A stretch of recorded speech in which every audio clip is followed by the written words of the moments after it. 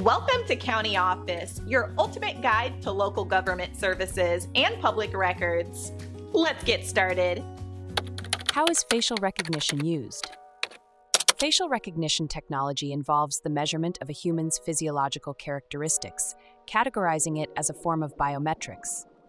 This technology has been increasingly adopted due to its contactless process, despite its accuracy being lower than other biometric methods like iris recognition or fingerprint scanning. In the healthcare sector, facial recognition algorithms are used to diagnose genetic disorders. For instance, Nemours Children's Hospital uses a face recognition powered mobile app called Face2Gene to map a patient's face and match the detected facial characteristics to those of rare genetic conditions. Facial recognition is also utilized in patient tracking and verification within hospitals. It simplifies patient check in, frees hospital workers from paperwork, and prevents human error by verifying a patient's identity and insurance data through facial scans. In law enforcement, facial recognition systems are integrated into video surveillance to identify known criminals and persons of interest in real time. This is seen in installations such as the NeoFace watch system at the Atanasio Girardot Stadium in Medellin, Colombia, which scans faces of fans entering the stadium and alerts security of any troublemakers.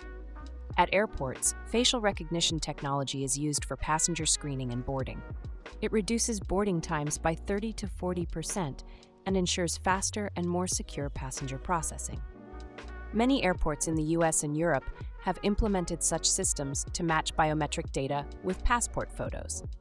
In the banking and finance sector, facial recognition is used for customer verification.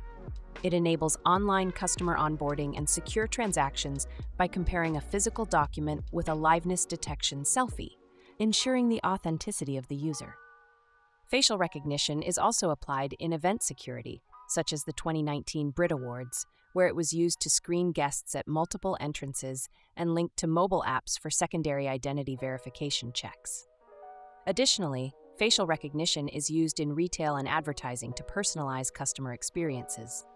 For example, facial recognition technology in taxis can select advertisements based on a passenger's appearance and mood, and in coffee machines, it can dispense free coffee to yawning passengers.